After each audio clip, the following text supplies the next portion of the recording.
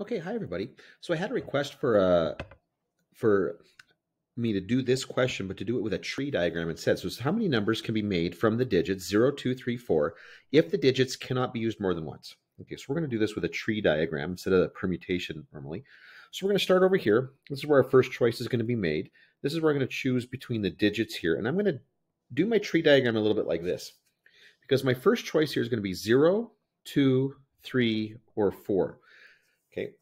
Now, this is going to be different from some of the other tree diagrams that you would might do because we're not going to go to the very end to get the final answer. We're actually going to go branch by branch.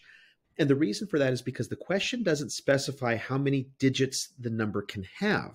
So it might be a one digit number, or, and then we go from there, there could be three options from here. There could be three options from here. There could be three options from here. Okay.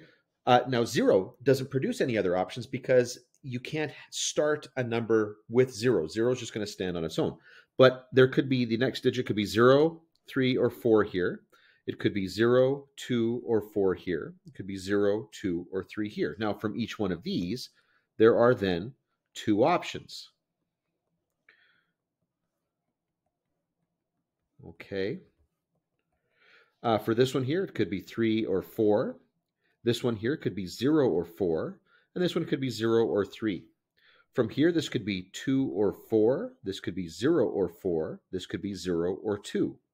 From here, this could be 2 or 3, 0 or 3, 0 or 2. Now, and if you'll notice here that for each one of these things, I'm just using the other digits in that kind of section there, that branch. And then from here, there's only one final answer or final uh, value that I can go to for each one of these little branches here.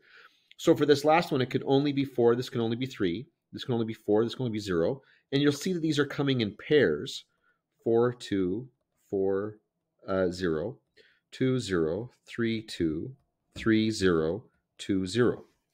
And so now if we want to figure out the total here, basically we just got to calculate how many we have at each branch here. So for this first one, one, two, three, four, I've got four options. Here I've got one, two, three, four, five, six, seven, eight, nine. Nine options right here. Then here I've got 1, 2, 3, 4, 5, 6, 7, 8, 9, 10, 11, 12, 13, 14, 15, 16, 17, 18. So 18 options here. And then because each one of those went to a single other value here, there's another 18 options there. And when you add those all together, you get 49 different numbers that you can create from those digits. So I hope that I hope that helps make sense of that question using a tree diagram.